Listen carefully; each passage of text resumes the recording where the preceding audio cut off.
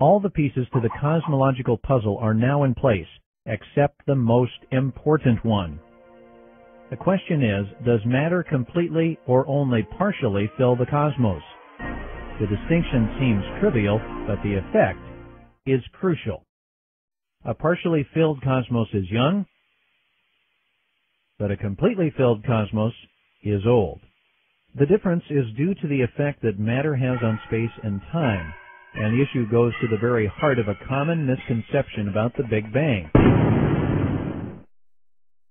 Typically, the Big Big Big Bang, is portrayed as matter emerging explosively from a quantum fluctuation and expanding into empty space. But according to Big Bang cosmologists, that is not the right picture. What they believe happened is that both matter and space emerged together from the cosmic egg and expanded simultaneously into hyperspace.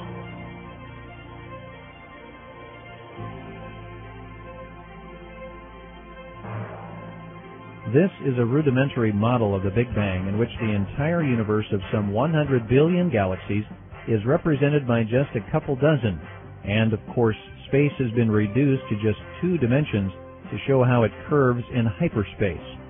Nonetheless, the basic principles still apply. In a Big Bang universe, matter is evenly distributed in space so that the cosmos is the same everywhere. There are minor variations locally, but overall, matter fills all of space and incredibly has no center or edge in a Big Bang cosmos. When viewed close up, the Big Bang and creation cosmologies look very much alike. Both appear to have evenly distributed galaxies in an expanding space. But when you step back and take a more distant view, the difference becomes clear. In a creation cosmology, matter has both a center and an edge in space. Whereas a Big Bang universe is the same everywhere and matter has no center. But is there evidence for a centerless universe? The famed cosmologist Stephen Hawking has suggested that indeed there is little or no evidence. In his book, The Large-Scale Structure of Space-Time, Hawking and his co-author Ellis said, We are not able to make cosmological models without some admixture of ideology. Ideology means unproven beliefs. Here, Hawking and Ellis admit that they must rely on unproven beliefs in order to develop their Big Bang model of the universe. Elsewhere in the book, they are implying that the universe is approximately spatially homogeneous.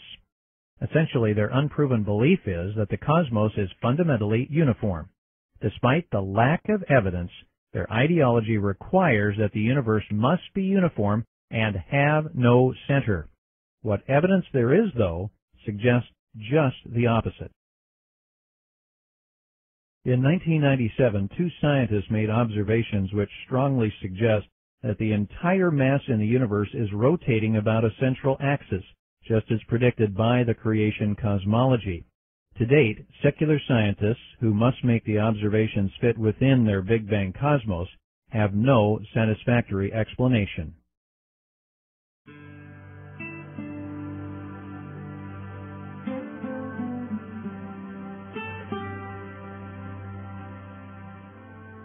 When matter has a center in space, it distorts space.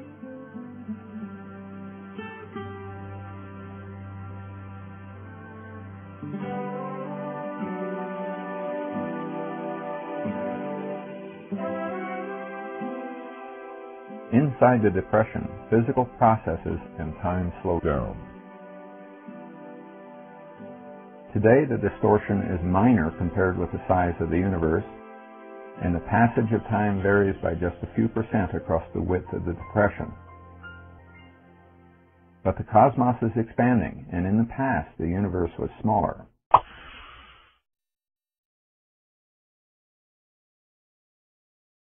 The redshift of light from distant sources is a direct evidence of the expansion.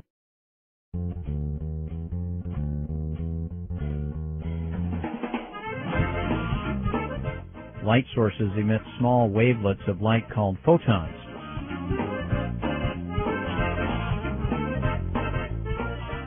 Light is literally stretched out as it passes through space, which is also being stretched out as the cosmos expands. The farther light travels in space, the longer and redder it becomes. Besides the evidence from observation, Einstein's equations of relativity also predict the expansion of space. But beyond the scientific evidence for the expansion of the universe, there are 17 verses in the Bible, such as this.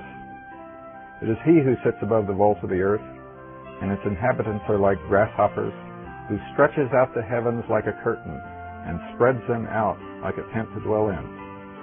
That's Isaiah 40, 21 and 22. Or this one, Jeremiah 10, 12. It is he who made the earth by his power who established the world by his wisdom, and by his understanding he has stretched out the heavens.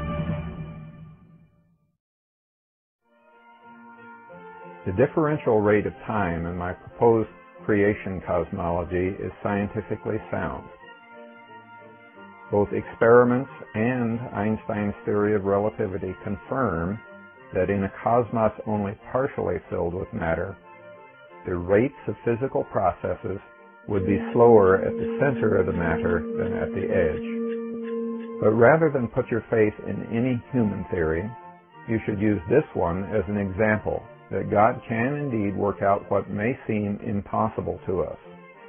Even if my particular theory should eventually turn out to be wrong, I know that there is a correct creation model of the cosmos because observation and scripture both confirm that God created the universe very recently.